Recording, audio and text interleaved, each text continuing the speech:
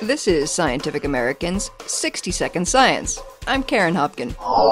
Bats are sophisticated communicators, and not just when they're in vampire form. I am Dracula.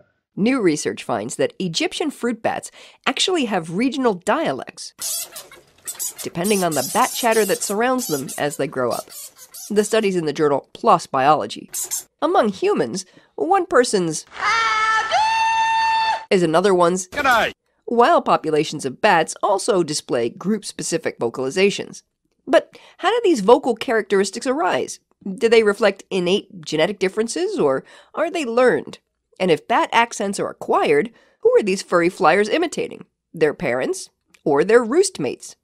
To find out, Yossi Yovel at Tel Aviv University and his colleagues captured 15 pregnant fruit bats and divided them into three groups, each of which was housed in its own separate box. The mothers gave birth inside these boxes, and their babies, called pups, lived there for a full year. During that time, the researchers exposed the pups to a select symphony of bat sounds. Fruit bats in the wild are reared in colonies that contain dozens to thousands of individuals, so they're used to being surrounded by a cacophony of calls and other vocal communiques. For one of the boxes, Yovel and his team exposed the young batlings to a selection of squeaks that were biased toward the higher frequencies. Pups in the second box heard lower pitched peeps.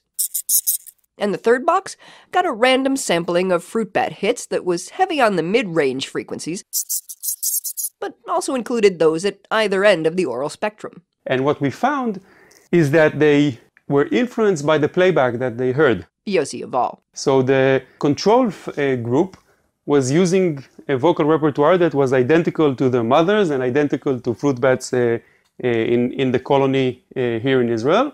But the two uh, manipulated groups were using different dialects. We actually were able to create three different groups of fruit bats with three different dialects in the lab. Of course, birds are famous for their songs, which the males learn from tutors, typically their dads. But Yovel says when it comes to vocal learning, bats march to a different drummer. Here we show that even though the pups were with their mothers and they were exposed to their mother's normal repertoire, they were still influenced by the background uh, vocalizations that they heard. Now, this is probably extremely uh, reasonable in the case of bats because bats roost in these caves with uh, uh many hundreds of individuals we believe that this process, which we call crowd vocal learning, because you learn from the entire crowd, is relevant um, for many other animals that live in crowded colonies. As the researchers note in their paper, this sort of social learning is sometimes called culture, even if you're living in a cave.